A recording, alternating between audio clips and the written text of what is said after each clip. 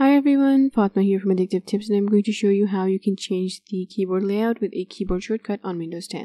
So this is for when you've configured multiple keyboard layouts like I have over here. To change the keyboard layout with a keyboard shortcut, you have to open the settings app and go to the devices group of settings. Select the typing tab and then scroll down and click the additional keyboard settings option. On this next screen, click the language bar options. And you're going to get this window here, go to the advanced key settings, and you're going to get under the action section a list of the different keyboard shortcuts that you can use to switch to a keyboard layout. Now this action up here, this is going to let you toggle between the different layouts. I've got it set to control plus shift, so if I tap this keyboard shortcut, it's going to switch to the other layout that's in the list. Now let's say you want to go to a particular layout and you want to configure a keyboard shortcut for it. To do that, select the keyboard layout here and then click change key sequence.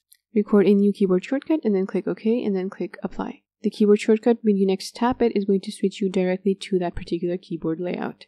Thanks for watching. I'll see you later with more tech tips.